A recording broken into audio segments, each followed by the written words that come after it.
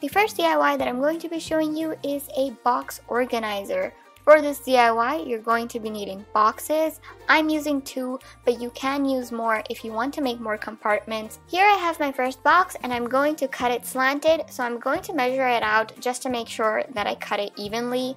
The hardest part about this DIY for me was to find the right kind of boxes. Maybe I was too picky about it, but it really took me a lot of time.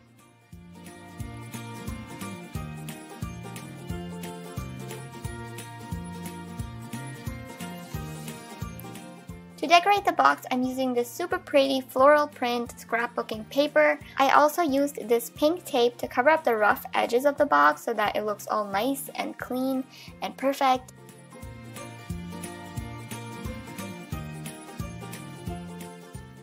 If you're wondering, I did cover up the back of the box as well. I didn't do it on camera, but I did do it.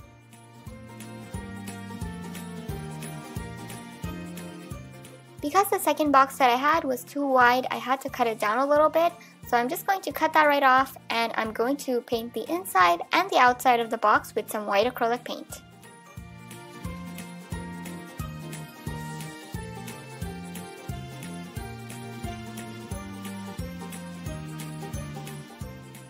I'm going to put the first box and then put the second box inside of it. If you want, you could glue it in, but mine was a perfect fit, so I didn't have to.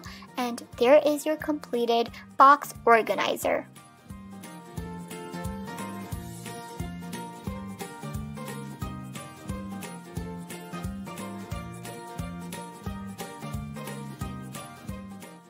The second DIY that I'm going to be showing you is a mason jar brush holder.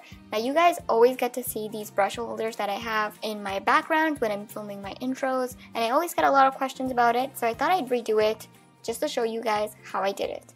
So here I have my mason jar and I'm going to paint it with two coats of yellow acrylic paint. Then I'm going to take my pencil and draw an outline for the face Making an outline really helps with the placement for the eyes and the mouth. Then I'm going to take some black acrylic paint and just fill it all in. This is such an easy DIY but it's so so cute, especially if you're making more than two or three. They look so cute together. This time around I decided to change up the colors a little bit, but you can obviously make them whatever color that you want.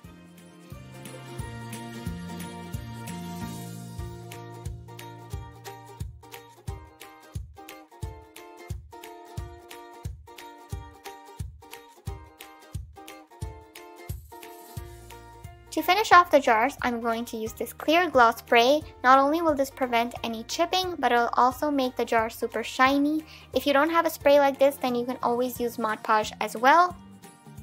There are the completed brush holders in which I'm going to store my paint brushes, polymer clay tools, nail brushes, and pens.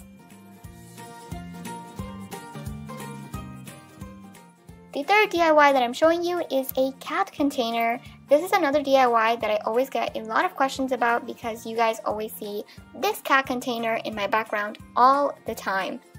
So I'm going to be using some air dry clay for this. I'm using Fimo Air Basic. I'll leave the complete name down below. So all I'm doing is I'm going to roll it out and you want to roll this out as thin as possible so that there is no cracking or anything like that. Then I have this container that I got from the dollar store and I'm going to cover up the entire container with the clay. You can use pretty much any container that you may have and I'm using my fingers and a tiny bit of water to smooth it all down.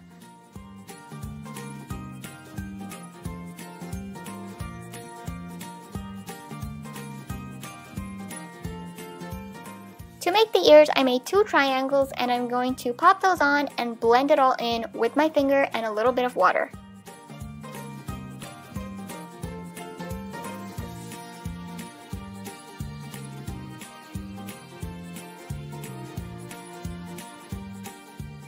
Once the container is all done, you want to let this air dry for about 24 hours. I already have the container painted white. I was doing this on camera, but I forgot to press the record button, so let's just imagine that I painted this white on camera and you guys saw it.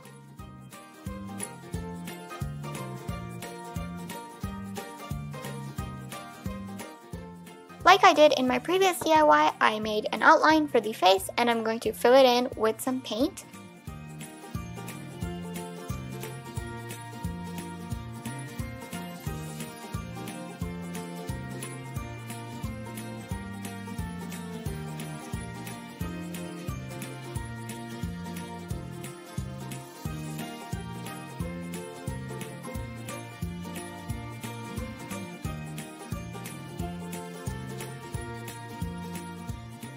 I really don't like saying this, but these three right here are legit squad goals. I'm using these containers to store my hair ties, cotton pads, and q-tips.